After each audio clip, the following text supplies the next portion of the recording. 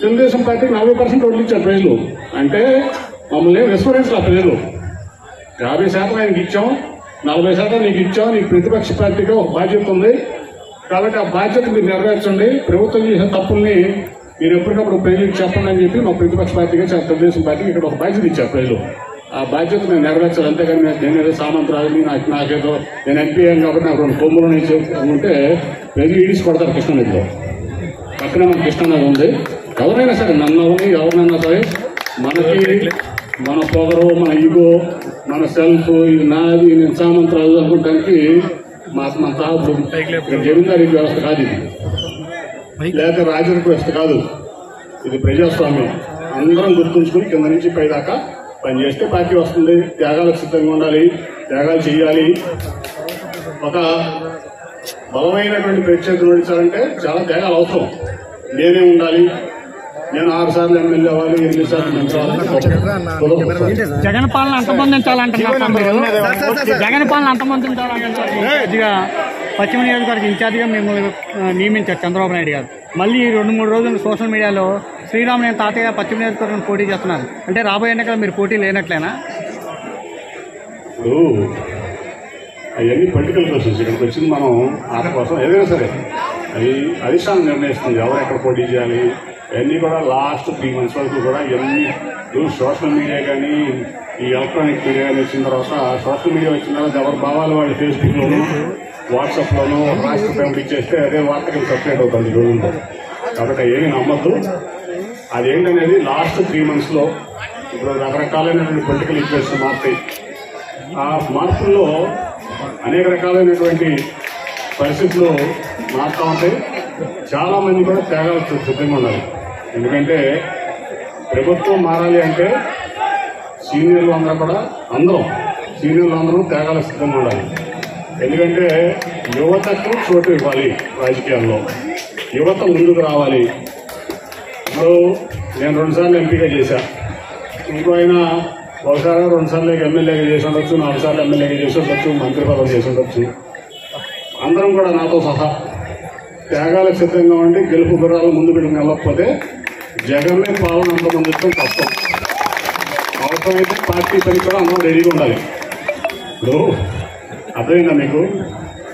ఇప్పుడు ఇక్కడ నేను విజయవాడలో గెలుస్తాను అనుకుంటే చంద్రబాబు గారు నన్ను ఎంచి పోటీ చేపిస్తారు?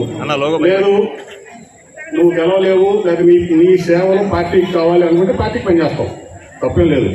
అర్థమైందా? రెండు సార్లు చేశా. ఇప్పుడు అమెరికాలో యుఎస్ ప్రెసిడెంట్ ఇంటర్న్ ఇస్తారు రెండు నాలుగు ఏళ్ళు ఎనిమిది ఏళ్ళు. ఆ తర్వాత రిటైర్మెంట్ అయ్యాడు. ఒబామా చిన్న వయసులో రిటైర్ అయిపోయాడు. రాజకీయాలు దూరంగా ఉన్నాడు. సో ప్రజాసేవ కావాలని వచ్చేవాళ్ళు ఎవరు కూడా ఇది నాది. ఈ మైలవరం కాన్స్టిట్యున్సీయో విజయవాడ వెస్ట్ కాన్స్టిట్యున్సీయో లేదా విజయవాడ పార్లమెంట్ కాన్స్టిట్యున్సీ నాది అనుకోవడం లేదు ఇది ప్రజలది. ప్రజాస్వామ్యంలో ప్రజలు యజమానులు. మేమందరం కూడా కస్టోడియన్సే. ఎంపీకి ఎన్నికైనా ఎమ్మెల్యేకి ఎన్నికైనా లేకపోతే ఎవరు ముఖ్యమంత్రి అయినా సరే గత ఐదేళ్ళు పద్నాలుగు నుంచి పంతొమ్మిది వరకు చంద్రబాబు నాయుడు గారు ముఖ్యమంత్రిగా ఉన్నారు. పంతొమ్మిది నుంచి ఇప్పుడు ప్రజలు జగన్మోహన్ రెడ్డి గారికి అవకాశం ఇచ్చారు. వాళ్ళు కస్టడియన్స్ వాళ్ళ సొంతం కాదు ఇది. ఎవరు ఎక్కడ సామంతరాజులు కాదు రాజులు కాదు ఇది ప్రజాస్వామ్యం. ప్రజలు పనిచేయమంటే పని చేయాలి. పని చేయలేదంటే ప్రజలు ఓటిస్తే ప్రతిపక్ష పార్టీగా కూడా మాకు ఒక బాధ్యత ఇచ్చారు ప్రజలు. మెసేజ్ ఇవ్వాలనుకుంటున్నారు మీరు నియోజకవర్గ ఇన్ఛార్జిగా అంటే ఇక్కడ లేకపోవడం కారణం సార్ దేవేంద్ర ఉమా గారు నియోజకవర్గ ఇన్ఛార్జ్ ఉన్నారు మీ పార్టీ నాయకత్వం కూడా ఐక్యంగా ఉండాలి మనం జగన్ పాలన అందముందించాలంటే అందరూ ఐక్యంగా పోరాటం చేయాలంటున్నారు అలాంటి అప్పుడు నియోజకవర్గ ఇన్ఛార్జ్ రెండు పక్కల రెండు నేను కలుపుకి వెళ్తాను నేను దూరంకి వెళ్తాను కుదరదు కలుపుకి వెళ్ళాలి జగన్ జగన్ ఓడించాలి అంటే రెండు పక్కల నుంచి ఉండాలి. ఇది I love you you don't love me లేకపోతే నేను నువ్వు నన్ను లవ్ చేయి. నేను మాత్రం నేను లవ్ చేయను. నేనే సామంతరాజు ఉంటాను అదే చెప్పా కృష్ణానదిలో పవిత్ర సంఘంలో ఈడ్చి కొడతారు. అదేనా? నన్నైనా నన్నైనా ఎవరికైనా రెండు కొమ్ములు ఇష్టండి ప్రజలు ఈడ్చుకుంటారు అదైనా? చెప్పేది నువ్వు. చెప్పేది తమ్ముడు? ఇది ప్రజాస్వామ్యం అని చెప్పా. కలుపుకి వెళ్ళడం అనేది రెండు పక్కల నుంచి ఉండాలి. ఇప్పుడు ఇది ఒక క్రీడా కార్యక్రమం. నేను ప్రజాప్రతినిధి నేను వైసీపీ ఎమ్మెల్యే పిలిచి నేను సభకెళ్తా ప్రజలు నాకు ఇచ్చిన ఇది చెప్పే కదా ఇది నాది కాదు ప్రజలది. నేను వైసీపీ ఎమ్మెల్యే ఎంపీ ఎంపీ నిధులకి నేను ఇచ్చా. ఎందుకు ఇచ్చానంటే అది నా సొమ్ము కాదు. పార్టీ సొమ్ము కాదు. Parliament of India government of India నాకు ఇచ్చిన సొమ్ము అది. ఎందుకు? ఇది ప్రజలది ప్రజలకు అవసరమైన పని వాళ్ళమని వాళ్ళు మంచి పని చేసినట్టు వాళ్ళకు కూడా ఇచ్చారు. ఎందుకంటే ఇవాళ గడ్కరీ గారు ఉన్నారు. ప్రతిపక్ష పార్టీ ఎంపీ వెళ్ళినా సరే అభివృద్ధి ఇస్తాడు ఇది చెప్పా ఇందాక మీకు. ఆయన కస్టోడియన్ ఆఫ్ విజయవాడ పార్లమెంట్ ఈ ఇరవై నాలుగు వరకు ప్రయత్నించిన అవకాశం. ఇరవై నాలుగు తర్వాత నేను కూర్చోబెడతాను ఎంపీగానో లేకపోతే రాజుగానో ఇక్కడ? అప్పుడు నువ్వు వెళ్ళుకుంది కానీ వెళ్ళ వెళ్ళుకోవడానికి వెళ్తాంతా వెళ్ళుకుంటే ప్రజా సేవ చేయాలి అంతే. కాబట్టి నేను నువ్వు నన్ను లవ్ చేయి. నేను నిన్ను లవ్ చేయనంటే కుదరదు. You love me I love you